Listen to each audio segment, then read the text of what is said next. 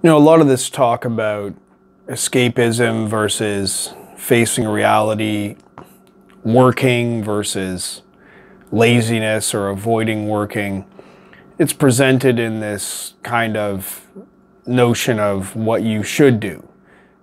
You should be working.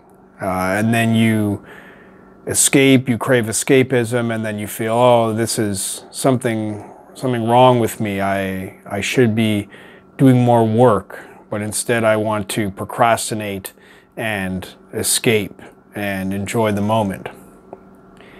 And so there's this kind of conflict between the feeling of, well, I feel like I know I should be doing work and pursuing meaningful goals, but I don't actually feel like it. I really feel like having fun uh, in escapist pastimes and I have to kind of force myself every time I want to do any amount of work. I have to force myself against what I really want to do in order to do what I feel like I should do. Then this is an unfortunate state of mind. Feeling like I have to make myself constantly try to do something that I don't want to do and avoid what I really want to do. Now, I see this as a phase, and it's part of what anybody has to go through in self development because we have, we have trained ourselves to become accustomed to doing uh, living lazily uh, and we are used to not uh, disciplining ourselves and therefore there's a sense of kind of having to force ourselves to do what we had decided is good. But I think that this mentality of feeling that we should do good, but we really want to do the bad things, that that is only a temporary and incomplete situation.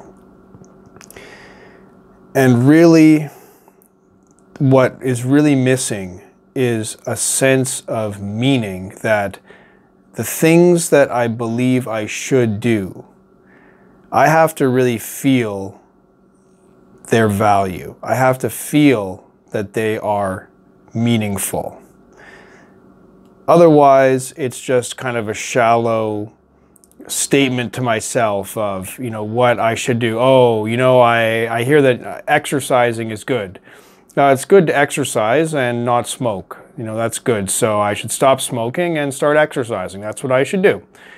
Clearly, that is good. And, you know, I have learned this and, you know, the logic is uh, airtight that clearly exercise more is good, smoking less is good. And so I know that I should do it, but, you know, I don't feel like exercising and I do feel like smoking. So I have to fight against that desire and do what I know I should do.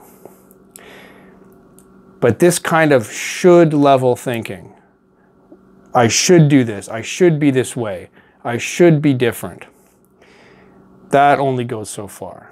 What is the reason? Why, why do I care? Why do I care that I should exercise and not smoke? What is, because just just being something that I know I should do is not enough. What is the purpose? See, I think this is something that is missing from a lot uh, in the world of self-development is and I think the reason a lot of people simply dismiss the whole world of self-development is it's just a bunch of people telling you, you know, you should do this, you should do that uh, and they don't feel like doing it. And uh, can't blame them uh, because if you don't really feel the purpose, behind the change you want to make and really feel it to the point where part of you wants to do it, then it's nothing more than just barking orders to yourself and telling yourself what you should do when you really don't want to. It can be difficult at first because the things that are good for us often are not as easy to like, and the things that are bad for us are often very easy to like. Uh, but it is possible to really, over time, slowly shift our mind so that we actually do want to do good things and avoid bad things because we can feel the meaning behind it. If I really feel what it means to live life as a strong and healthy person, and really feel that it's more than simply an abstract idea of, oh, I should be healthy, but I really feel the advantage and the joy of being strong and healthy, then I can see that, oh, exercising brings me closer to that ideal it brings me closer to that reality of a strong and healthy life, and that is good. That makes me happy. And smoking would be something that would take me away, make me less healthy and ha less happy. So I can really connect the things that I'm doing with the meaning behind them. So next time I find myself saying I should do something, I will ask myself, why? Why should I really do that thing? If I can't find a reason behind it, then it's not enough. I need to know. If I tell myself I should do something, I need to know why. What's the reason? And then I can make it real.